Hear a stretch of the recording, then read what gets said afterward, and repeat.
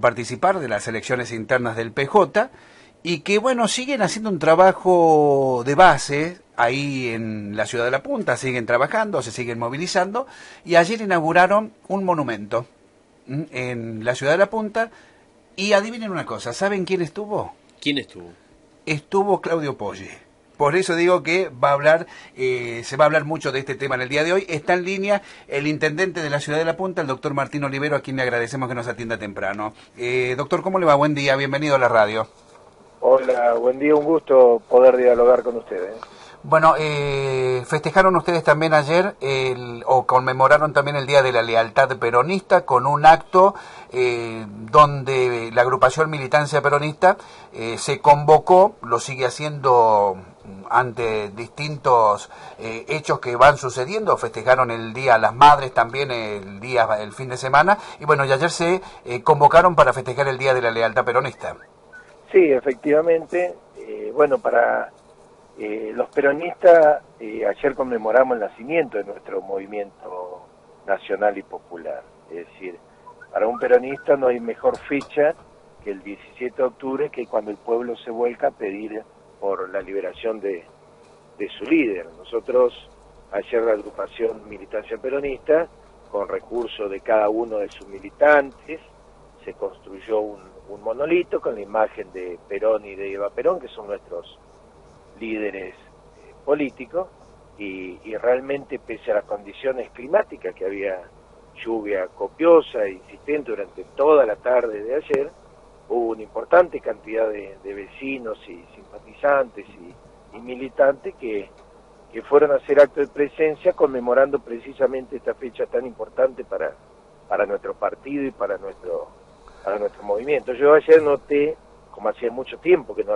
que no lo hacía, un entusiasmo muy grande en la gente, es decir, cuando usted está convencido de lo que de lo que hace, lo hace con ganas y con mucho entusiasmo. Y yo es lo que palpé el día de ayer en, en, en, la, en el acto de que conmemoramos el 71 aniversario de, del 17 de octubre. En el Día de la Lealtad Peronista ayer, eh, ¿se abrieron las puertas del Partido Justicialista para conmemorar semejante día o tuvieron todo el día cerradas? Desconozco, gente no, no había porque está en pleno centro sobre la Avenida Serrana y, y paso a diario. No, no, no, sé si estaban o no cerradas, pero gente no, no había acto, no, no hubo, por lo menos yo no lo percibí. Bien, eh, bueno, eh, la, sin lugar a dudas, eh, la, la, presencia del de ex gobernador y el actual diputado nacional, eh, seguramente hoy muchos medios van a estar hablando de este tema. tuvo ya un primer acercamiento, si bien siempre usted, inclusive en su momento, fue uno de sus ministros, fue uno de sus principales funcionarios, pero bueno, ¿cómo, ¿cómo, nace esto de, invitarlo a apoye?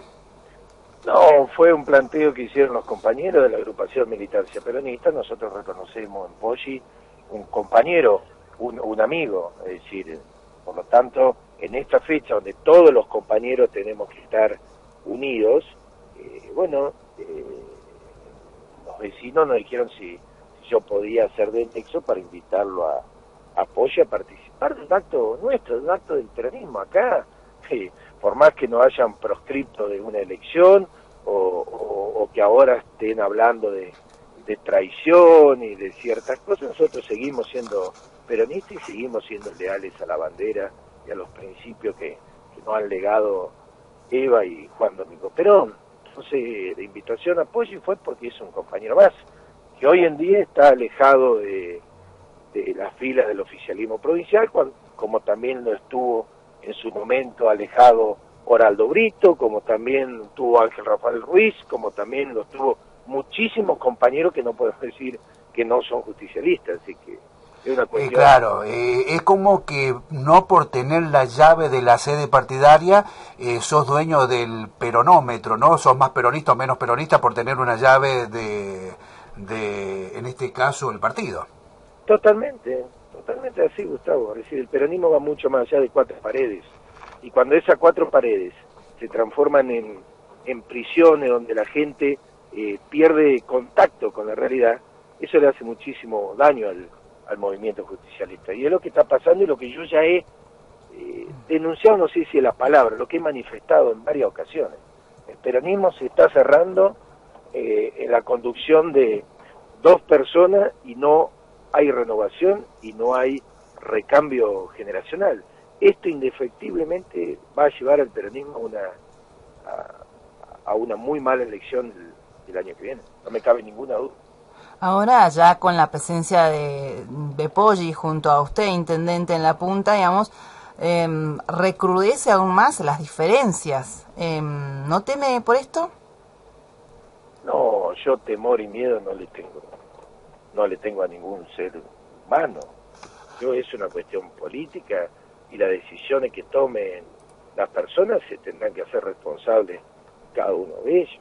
Yo no, miedo no le tengo a nadie, pero no es porque soy eh, no, no, por ahí a Yelén, por ahí la, la, pregunta va más orientada a la asfixia económica o alguna represalia en cuanto a lo que puede llegar a ocurrir por ahí con, con bueno, lo que habitualmente el gobierno va distribuyendo en obras y en todas esas cosas, ¿no?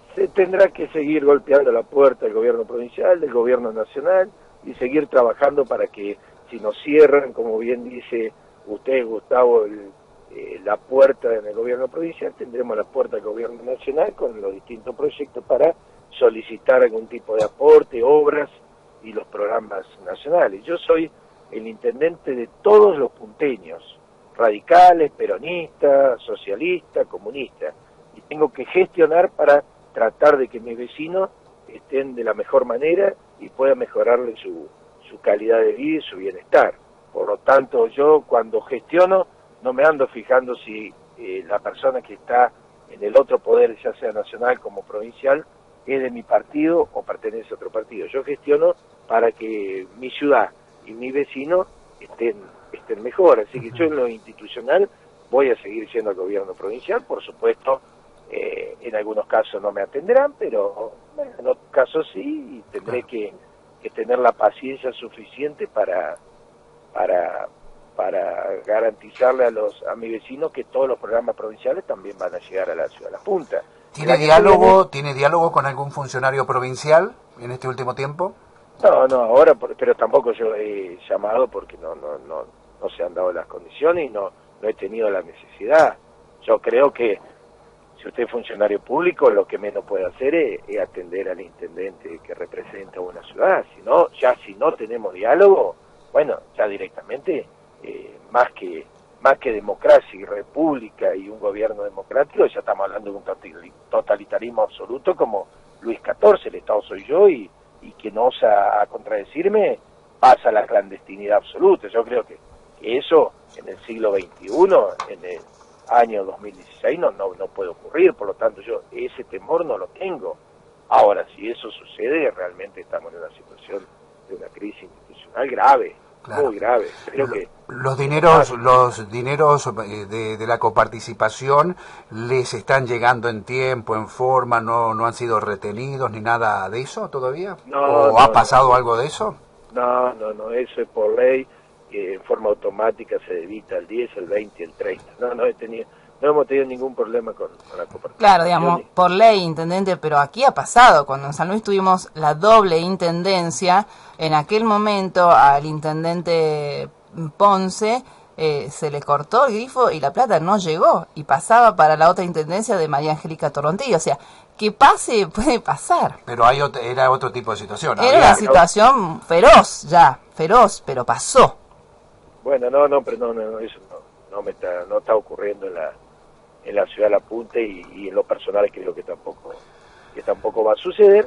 Sí lo que puede pasar es que vamos a dirimir el año que viene las urnas, dos proyectos distintos, en el caso personal mío seguramente mis adversarios van a ser quien hoy eh, conducen al peronismo de La Punta, que Gloria Velázquez, Darío Rosa Cubrí, esas personas seguramente van a estar enfrentadas en un año electoral que es el año que viene. Yo creo que la dirigencia política tenemos que ser maduros, no afectar a la gobernación. Sí. Hola. Hola. Eh, a ver si podemos recuperar la comunicación. Se nos ha cortado. Eh, pues, bueno, había un par de preguntas más todavía para... ¿Está eh, Martín? Sí, sí, yo Bien, no, no, no, no, estaba, estaba, se nos había cortado. Eh, hablando de esto, ¿no? De cómo se van posicionando algunos dirigentes, usted acaba de decir algo muy cierto, se van eh, a dirimir en las urnas eh, qué es lo que eh, en definitiva termina eligiendo la gente, ¿no? En cuanto a la gestión ahí en el municipio. Y mm, eh, hay algunos dirigentes, eh, entre comillas, que bueno se van posicionando y van ganando terreno. Caso, usted acaba de nombrar Gloria Velázquez, que eh, primero le va como presidenta al PJ y creo, tengo entendido por noticias que nos han llegado que inclusive ya está al frente del cabildo, o sea, ya ha quedado como eh, manejando prácticamente todo el cabildo ahí en, en, en la punta. Sí, efectivamente, lo, la misma información tengo tengo yo, así que bueno, el año que viene se va a dirimir en el Consejo Deliberante, se, se renuevan dos bancas eh, bueno, si también se pone en juego, eh, en cierta medida, un plebiscito a la gestión del intendente. Yo siempre digo que las elecciones legislativas, a mediado del plazo para, para vencer el mandato del Ejecutivo, es un plebiscito también a la gestión de Olivero en claro. la ciudad de la Punta y así lo voy a y así también lo voy a tomar, pero indudablemente eh, nuestra agrupación, nuestro espacio político no va a ir dentro dentro del peronismo, porque ya sabemos cómo actuó el peronismo cuando fuimos disidentes, así que no vamos a esperar que otra vez nos proscriban dentro de nuestro partido. Si se autoriza y finalmente eh, ya avanzar es un partido político, ¿es una posibilidad? Es una posibilidad. Es una posibilidad. O sea, prácticamente podemos decir que usted eh, se estaría sumando a avanzar.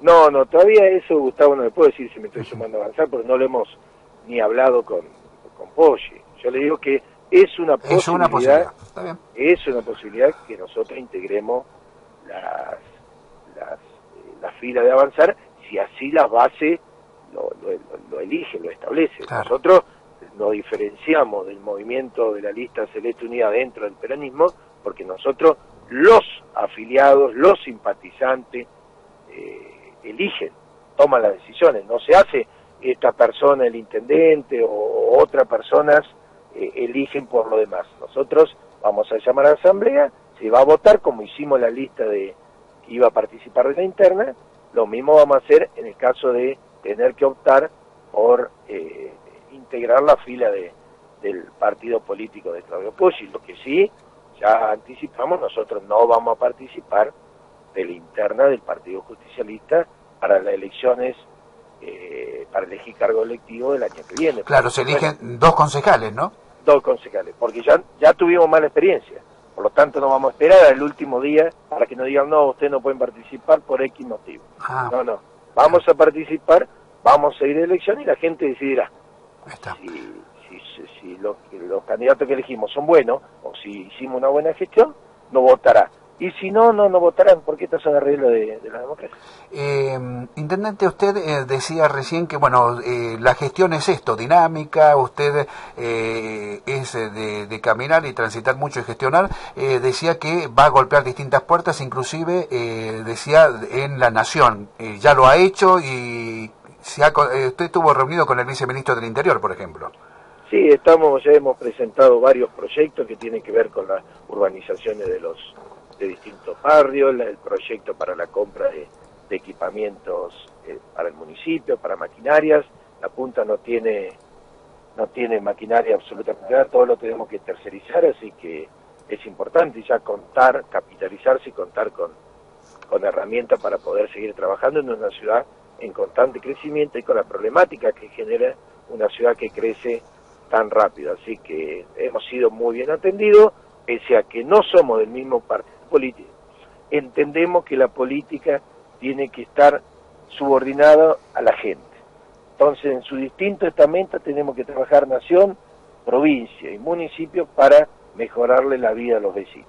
Nación lo ha entendido. Espero que provincia eh, lo entienda no vea en esta persona, eh, Martín Olivero, un enemigo, sino solamente un adversario que opina distinto y que no, porque yo sea un adversario político, tengan que pagar los platos los vecinos de, de, de, la ciudad de La Punta, que no tienen absolutamente nada que ver y que no quieren quedar como rehén de, de, una pelea o de una contienda electoral. La contienda electoral se dará en el 2017 y ahí la gente elegirá si A, si B o si C. pero que nada tiene que ver con la gestión de, un intendente, de un gobernador o de un presidente. En eso hay que ser maduro. 35 años de democracia no han, no han hecho ya pensar, repensar y recapitular sobre este tema. Tenemos que trabajar todo para el bienestar de, de nuestro pueblo. Espero que también los funcionarios estén a la altura de las circunstancias. Eh, en esto de, gestionar en, en, la nación, ¿ya, ¿ya se han conseguido algunas cosas o, todavía siguen aguardando? Algunas cosas se han conseguido, otras estamos aguardando. Hemos presentado varios proyectos, algunos muy interesantes. Esperemos que los trámites administrativos por ahí se aceleren y antes del fin de año ya empecemos a, a trabajar muy fuertemente en algunas cuestiones que, que nos interesan, sobre todo en, los, en los barrios nuevos. Está bien. Bueno, por último, y agradecerle ya la atención, eh, ayer seguramente eh, como anfitrión tuvo la posibilidad de por ahí charlar un, rato con el ex gobernador y actual diputado nacional Poggi. Eh, ¿Le manifestó algo ante la situación vivida por ustedes ahí en la punta? No, no, no, no, Gustavo. Hablamos muy poco, pero no, no, no, no tocamos el tema de, de lo que ha sucedido en el Partido Justicialista. Él pertenece y está construyendo otro espacio político. yo solamente eh, lo invitamos eh, la agrupación para festejar el Día de la Lealtad porque le reconocemos en él eh, que es un justicialista más, que hoy, por una cuestión eh, tiene que, formar otro partido porque dentro de, del espacio del peronismo no lo, no lo han dejado participar, cosa similar que no ha pasado, no ha pasado a nosotros. Es decir, el, el disenso en el PJ San Luis no existe. Hoy por ahí siente usted que tiene más diálogo o más respetuoso el diálogo con eh, gente que en otro momento era opositora que de los propios eh, compañeros? Ninguna duda, sí, pero eso es de que asumí como intendente. No, no hay ninguna duda que el diálogo con los adversarios políticos, ya sea de Cambiemos, del PRO, de los radicales, es mucho más respetuoso, mucho más sincero que con el diálogo con, con mi propio mis propios compañeros. Sí, no, eso desde que asumí como intendente. Porque yo creo que, que cuando empiezan a jugar cuestiones que no tienen que ver con eh, la militancia, con el respeto hacia una autoridad eh, local, sino tiene que ver con quedar bien con la persona que supuestamente dice que el intendente Olivero es de Poggi, como lo han dicho siempre, eh, le empiezan a, a embarrar la cancha, no darle los, eh, decir, los proyectos, las cosas que por ahí puede llegar a tener la punta y que puede bajar la provincia, y eso genera realmente, Gustavo, un, desgaste enorme y un malestar y un dolor hacia un peronista porque eh, yo eh, reconozco que, que todos los funcionarios, el 90% de los funcionarios de Alberto Rodríguez estuvieran en, en, el gobierno de Poggi y muchos de los que están hoy fueron funcionarios de mi cartera cuando yo era ministro. El 90% de la cartera de seguridad estuvo cuando yo fui ministro de Seguridad durante tres años del gobierno de Poggi. Por lo tanto, eh, que hoy eh, traten para quedar bien por ahí con, con el gobernador, desprestigiar a otra gestión, que ellos fueron parte y que formaron parte. Eh, yo no lo veo no lo veo bien y, y creo realmente que hace muy mal al Ejecutivo Provincial, porque se trabaja no de la mejor manera, porque dicen una cosa y después te llaman por teléfono para decirte, no, lo tuve que decir como para quedar bien, si no vos sabés cómo es esto, cómo es aquello.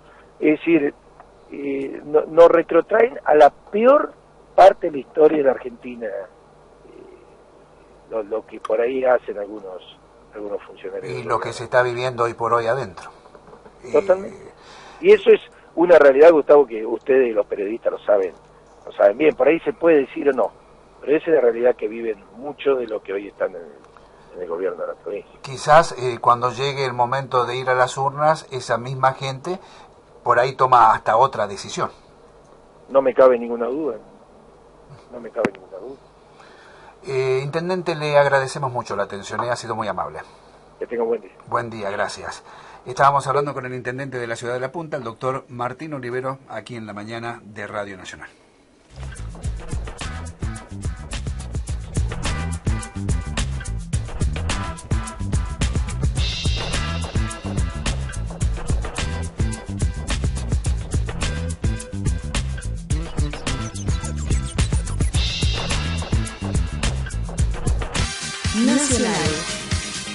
Desde San Luis Capital transmite